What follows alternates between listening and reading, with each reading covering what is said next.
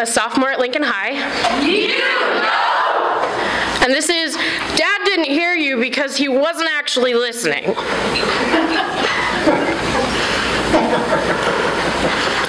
If a tree falls in the forest and my dad is there to hear it, does it make a sound? Sometimes. He began to go deaf when I was seven, so sometimes.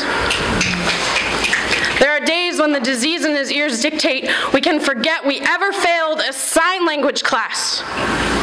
Some days won't forgive. Forgiveness is not something I've allotted myself. It was chosen over our communication in his broken eardrums that I instead should have five more milligrams of Adderall prescribed to keep me awake. He doesn't wake up on time anymore. Like the broken grandfather clock in our living room, I can't describe this to him with my hands. We used to play airplane when I was little. Dad's hands like clouds would lift me higher than the countertops, which at the time seemed monumental. Just as monumental as his first pair of hearing aids weren't. As monumental as the realization that it is my fault. We have to yell all the time. Maybe I should have listened to him. Suck it up, Anna. Deal with it, Anna. Change your attitude because your depression is not that bad, Anna.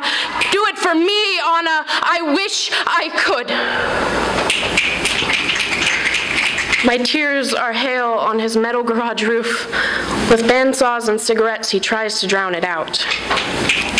And cigarettes come in packages like birthday candles. They burn in the same way. I'm left to wonder how many birthday candles do we have left?